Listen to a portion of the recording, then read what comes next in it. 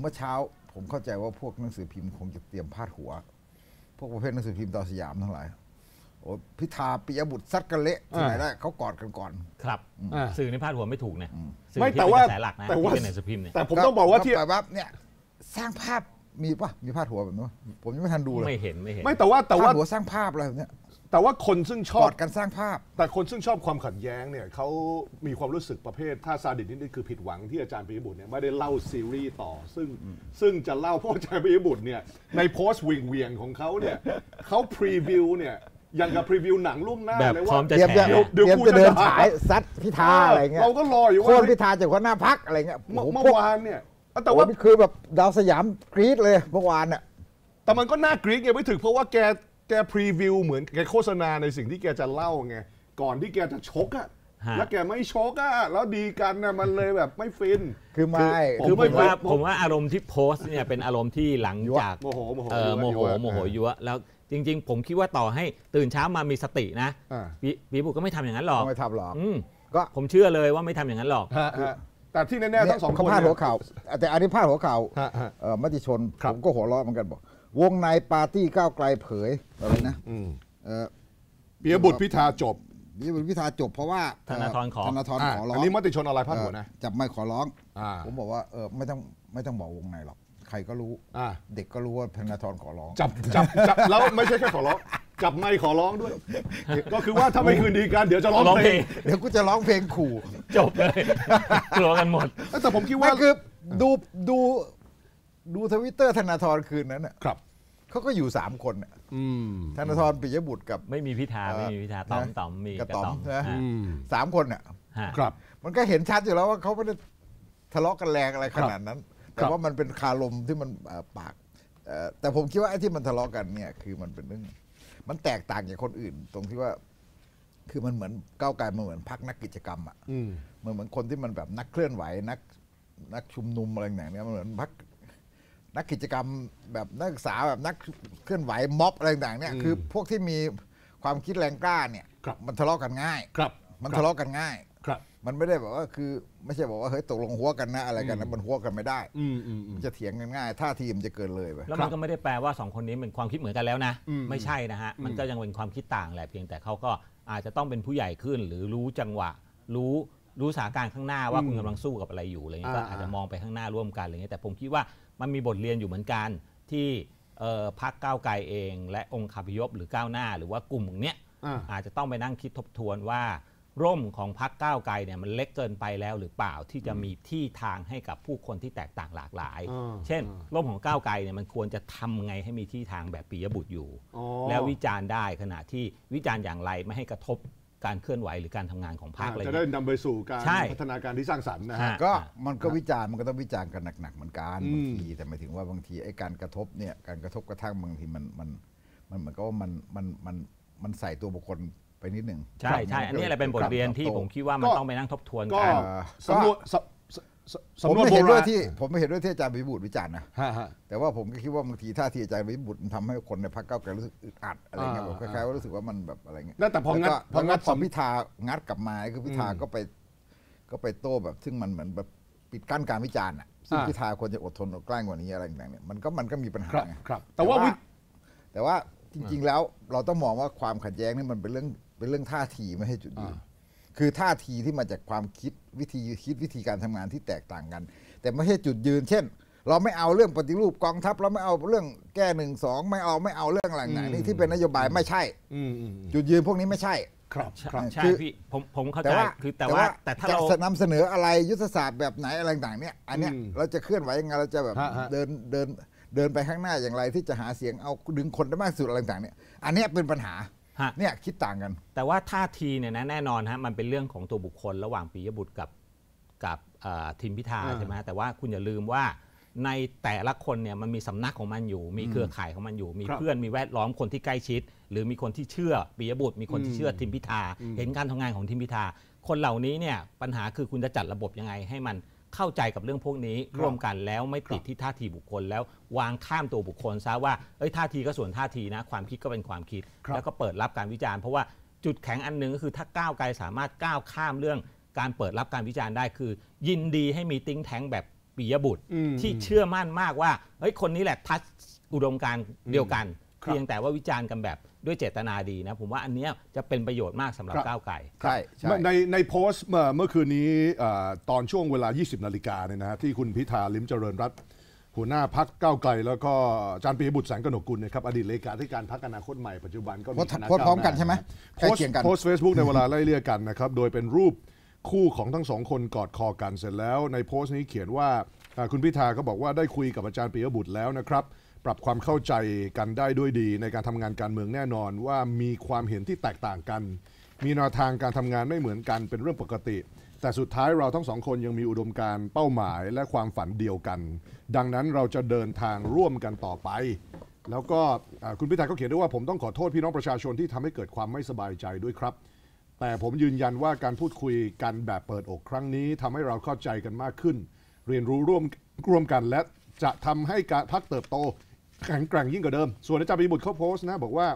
ผมได้คุยกับคุณทิมเรียบร้อยแล้วครับ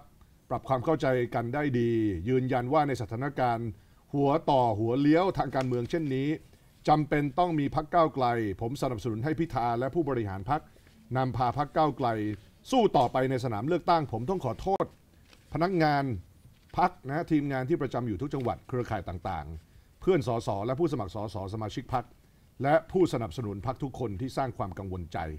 แล้วก็ทำให้ทำงานกันอย่างยากลำบาก ขอให้ทุกคนร่วมต่อสู้ด้วยกัน ช่วยกันทำตามความฝันของทุกคนที่ร่วมกันสร้างมาตั้งแต่พักอนาคตใหม่ จนมาถึงพักก้าวไกลนะครับ นั่นคือในโพสต์ Facebook นะฮะส่วนในในวงปาร์ตี้เนี่ยซึ่งเกิดขึ้นหลังจากที่มีเรื่องของการโพสต์เฟซอะไรไปแล้วเนี่ยหลังจากที่ทั้งสองคนนี้เขาได้คุยกันเนี่ยก็มีการเดินทางมาที่ บาร์ซึ่งอันนี้ก็เป็นบาร์ของเท่าพิภพบักเบียร์ลิมจิตรกรทำไมมันต้อง perfect อะไรขนาดนี้วะอ้าวคือก็ต้องไปคืนดีกันต้องเสไปร็จคืนดีกันไปแล้วไปคืนดีกันที่ปาร์ตี้ที่เท่าพิภพไงถ้าผมเป็นฝ่ายขวาสุดโต่งนี่ผมจะหมั่นไส้นะมันเออคืนดีที่เบียร์เท่าพิภพด้วยเออเบียร์เท่าพิภพใช่ไหมเออสุราก้าวหน้าโอ้ถนนไปเจฉลริองญสุรัราตน์ก้าวหน้าเขาโฆษณาร้านไปในตัวเลยคุณปลื้มนี่แหละโฆษณา ถ้าพิภพบาร์เออโปรเจกต์ใช่ถนนเจริญรัตน์อ่าเออเดี๋ยวสสส กระทรวงสาธารณสุขก็ว่าเราเออไม่โฆได้ษณาร้านเราเบียร์หมด เราไม่ได้โฆษณา ไม่โฆษณาไม่ได้ร้านโฆษได้ณานะโฆเขาษไปณานั่งร้ากันนได้ก็ไม่ได้โฆษณายี่ห้อ เออครับ เขาไปนั่งเขาไปนั่งคุยกันที่นั่นไงเรารายงานข่าว เขาไปนั่งคุยกันที่นั่นแล้วปรากฏว่าก็ก็มีอ่าอย่างเช่น คุณสุรเชษฐ์ประวีณวงศ์วุฒิสสบัญชีรายชื่อพรรคก้าวไกล โพสต์คลิเขาปโพสต์คลิป เขาโพสต์คลิปบรรยากาศนะฮะระหว่างปาร์ตี้ดังกล่าวแล้วเสร็จแล้วก็มีข้อความระบุว่าจบดราม่าละขอบคุณอาจารย์ป๊อกขอบคุณหัวหน้าทีมแฮชแท็กก้าวไกลไปด้วยกัน แล้วก็อาจารย์ปิยบุตรเขาก็งา นนั่นแหละโอเคอันนี้อันนี้เป็นข้อมูลซึ่งเขายืนยันชัดเจนในการเคลียร์ปัญหากันหมดเรียบร้อยแล้วไม่ได้ชวนรายงานในนี้ว่าอาจารย์ปิยบุตรก็บอกว่าต่อไปนี้อีกเกือบ 3 เดือนเป็นช่วงเวลาแห่งการเดินหน้าไปสู่การเลือกตั้งอย่างเดียว สมาชิกทุกคนมุ่งไปสู่การเลือกตั้งอย่างเดียว ตนเชื่อว่า 3 เดือนนี้เหมือนจะดูสั้น แต่มันเป็นหนึ่งในเส้นทางระยะยาวของพวกเราตั้งแต่เริ่มตั้งพรรคอนาคตใหม่บังเอิญเพิ่งครบ 3 ปีพอดีตั้งเอ่อยุบพักอนาคตใหม่อายุพรรคอนาคตใหม่จริงนี่เขาโดนตัดสิทธิ์มา 3 ปีนี่เขาเจออีก 7 ปีอะไอ้ความไม่เป็นธรรม ใช่ใช่เดี๋ยวนะโดยกรรมการบริหารหลายหลายตัวเป้งๆเนี่ยโดนหมดคือสิบปี คือถ้าไม่ยุบพักเนี่ยนะฮะมันก็ไม่มาถึงจุดนี้เข้าใจป่ะไอ้แต่ละเรื่องซึ่งมันเป็นเรื่องขึ้นมาเนี่ยอ้าว คือมันก็ มันเป็นอย่างเงี้ยๆการเขทำลายมีพักวิธีอะฆ่าตัดตอนอย่างนั้น อ่าก็อย่างไรก็ดีก็เขาโฟกัสกันแล้วก็เสร็จแล้วก็มีภาพกอดคอกัน แล้วก็มันมีช่วงที่คุณธนาธรเนี่ยเขาจะร้องเพลงตกลงที่คุณธนาธรเขาเหมือนทำเป็นขู่เนี่ยมันเป็นใช่ มุกซึ่งปล่อยจริงๆเป็นมุกใช่ไหมุกแต่ปล่อยจริงบอกว่าถ้าไม่มันเป็นมุกถ้าไม่คืนดีที่รู้กักันนทั่วไปแล้ว ธนาธรจะร้องเพลง อ่า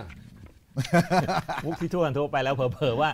เออวันไหนจะไลฟ์สดรวมการเฉพาะกิจให้ธนาธรร้องเพลงอะสมานฉันท์กันทั้งประเทศ ไม่คือ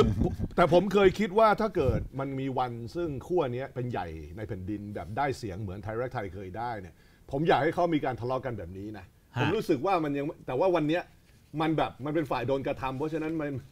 มันไม่ไม่ไม่คือมันไม่คือช่วยอะไรย้ำจริงๆมันว่ามันเละกันอยู่แล้มัวนเป็นเรื่องปกติ เป็นเรื่องปกติแน่ๆแต่ว่าเอ่อท่าทีการใช้ การใช้ถ้อยคำหรือการพุ่งเป้าของทั้งสองทั้งสองคนน่ะมันผิด เพียงแต่ว่าอ่าไอ้ความขัดแย้งเรื่องเรื่องการมองไปข้างหน้าว่าเฮ้ยเราจะเราจะเสนอนโยบายในการเลือกตั้งเนี่ยยังไงอะไรยังเงี้ไงยคือสเสร้างนสอรรค์นโยบายเนี่ยผมว่ามันเห็นด้วยกันหมดแหละอืมแต่หมายถึงว่าคุณจะเอานโยบายอะไรขึ้นนำในการใช่หาเสีใช่ยงคุณจะใช้เอ่อวิธีไหนยุทธศาสตร์วิธีคุณจะตั้งแบบไหน คุณจะเอาแบบไหนคือออ่า การหาเสียงควรจะเป็นแบบไหนอะไรอย่างนี้ครับพุ่งยังไงจริงๆ วิธีการยังไง อันนี้เป็นเรื่องที่ถกถูเถียกงแต่ว่าบังตั้เอิงญแต่หัวหน้าพักจะลูกอ่าพักจะใช่ผู้สมัคร จริง ๆ เรื่องเนี้ยเป็นใจกลางทีมงานหาเสียง เป็นใจกลางของของการขับเคลื่อนพักก้าวไกลเลย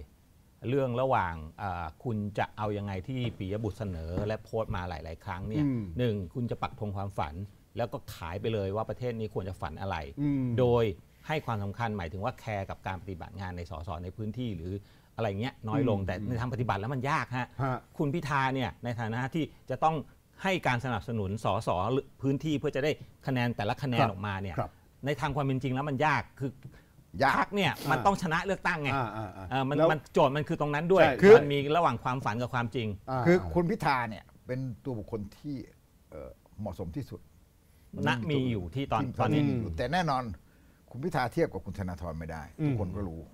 อืมอันนี้คือมันเป็นเรื่องที่ลำบากฮะฮะ ใช่ไหมมันปลุกกระแสเท่าธนาธรครับไม่ได้ ครับ แต่ที่นำมาสู่ความโกรธเคืองในรอบนี้ ผมคิดว่ามันเป็นวิธีการงัดสำนวนภาษาไทยโบราณ ซึ่งแรงๆมามาซัดกัน พอเริ่มไปถึงตรงนั้นเนี่ยมันอีกฝ่ายก็งัดกลับมาไงคือไอ้คำว่าใช่ไอ้ไอ้ไอ้ไอ้ใช่ไอ้สำนวนไทยโบราณเนี่ยมันอีโก้ทิ่มอีโก้มันทิ่มแทงมันฮะ ทิ่มแทงซึ่งก็เป็นเอ่อนะพื้นฐานของมนุษย์ซึ่งเวลาซัดกันแรงๆอีกคนก็ซัดกลับมา ก็นะแต่ว่าอย่างไรก็ดีอย่าสึกในรอบนี้หลายคนก็มองว่าจำเป็น เพราะว่าเอาจริงๆแล้วอาจารย์ปิยบุตรเนี่ย เขามีเป็นผู้นำทางความคิดทางวิชาการของประชาชนซึ่งศรัทธาต่อทั้งก้าวไกล แล้วก็การเคลื่อนไหวของอนาคตใหม่ตั้งแต่แรกนะเขาไม่ใช่แค่เข้ามาเล่นการเมืองเลยที่เขาเขาเขามีความรู้ความอ่านที่หลายประเด็นที่เขาเริ่มเนี่ยตั้งแต่สมัยสอนอยู่ที่แล้วก็อยู่ในกลุ่มนิติราษฎร์เนี่ยมันเป็นประเด็นซึ่งออกมาเป็นดอกเป็นผลทางความคิดนะแม้กระทั่งในการจัดรายการน่ะแกเป็นนักคิดคนสำคัญคนหนึ่งที่พูดถึงเรื่องฝรั่งเศสอำนาจสถาปนารัฐธรรมนูญอะไรเงี้ย หลายเรื่องเนี่ยแก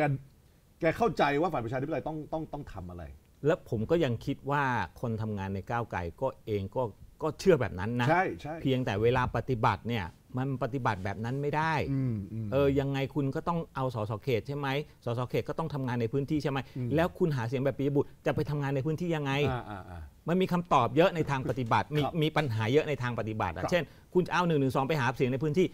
ชาวบ้านเขาโอเคไหม อ่าจะเหมือนคุณจะไปคุณจะเจอแบบเจ๊อมรัตน์ที่โดนหนึ่งโดนสสปสปปชอ่า ไปนั่งถกอย่างเงี้ยในทุกพื้นที่เหรอ อ่าอ่า เขาก็รู้สึกว่าเฮ้ยอย่างเงี้ยมันไปต่อไม่ได้ อ่า ในทางปฏิบัติมันมีปัญหาจริง อ่า ต้องเข้าใจว่าในทางปฏิบัติมีปัญหาจริงเพราะฉะครันั้บนในกระแสก็ในฐานะความคิดของปิยบุตร ก็ดีอ่ามีมีประโยชน์จริง ๆ แต่คุณจะทำยังไงในทางปฏิบัติ ที่จะทำให้เรื่องนี้มันรณรงค์ไปได้อย่างโอ้กว้างเรื่องนี้ขวามันเป็นเรื่องที่ต้องแตกลงไปในการปฏิบัติ ซึ่งอืมมันยากใช่ ไหมมันก็บอกว่าการหาเสียงของก้าวไกลมันคือการหาเสียงออนไลน์แล้วมันเกิดที่ผ่านมาใช่ป่ะมันใช้กระแสองค์กว้าง แต่ว่าคุณแบบเพราะคุณลงไปในพื้นที่คุณไม่มี เงินไม่มีปัจจัยอะไรที่คุณจะไปสู้กับบ้านใหญ่แบบงานบวชงานศพคุณไม่ได้ทำอย่างนั้นคุณไม่ได้คุณจะต้องไม่เดินหาเสียงแบบเก่า แต่คุณจะมีต้องมีการจัดตั้งมวลชนกันคือมันเป็นวิธีการใหม่ฮะฮะวิธีการที่คุณจะต้องสร้างการเมืองใหม่ของคุณในสไตล์คุณขึ้นมาเนี่ยมันเป็นเรื่องที่ยากมากนะยากมากคุณให้ผมไปบอกผมบอกไม่ได้เลย ใช่แต่ผมคิดว่าสิ่งที่ปียบุตรเสนอเนี่ยเป็นเรื่องทุกที่คดีนมันบอกไม่ได้ทุกคนมันต้องลงไปสู่พื้นที่แล้วคิดเองอ่าต้องคิดกันคิดให้แตกอะไรเงี้ยฮะเพราะฉะนั้น step ของปิยบุตรเนี่ยผมเห็นว่าสำคัญสิ่งที่ปิยบุตรเสนอคือว่า อย่าคำนึงถึงการไปสู้ในพื้นที่มาก คืออันปิยบุตรก็ไม่ได้พูดอย่างนี้นะอืมอืมแต่ว่าการปักธงความฝันอย่างเดียวสร้างกระแสใหญ่และท้าทายอำนาจเนี่ยมันอาจจะไปหวังสอสอในพื้นที่ไม่ได้มาก แต่ได้ party list เยอะ แต่ว่ามันค่อยๆไปแล้วคุณค่อยไปขยับเรื่อง เช่น คุณไปซื้อคุณไปอะไรคุณไปทำงานเครือข่ายแบบบ้านใหญ่ไม่ได้ คุณก็ต้องไปสู้เรื่องกระจายอำนาจก่อนอืมให้ท้องถิ่นอะมันแอบสอบปัญหาต่างๆ ในพื้นที่ซะครับแล้วคนชั้นกลาง ที่มีสำนึกแบบอิสระอิสระหน่อยอะอืมอืมไม่ผูกติดกับเครือข่ายหรือระบบอุปถัมภ์มันจึงจะเกิดจำนวครันบมาก คือทั้งหมดเนี้มันเป็นสเต็ปซึ่งในทางปฏิบัติแล้วอืมสำหรับสสที่ลงในพื้นที่และดึงเข้ามาทำงานเนี่ยนะอืมไม่ง่ายฮะครับมันไยากไมันยากครัมันบยาก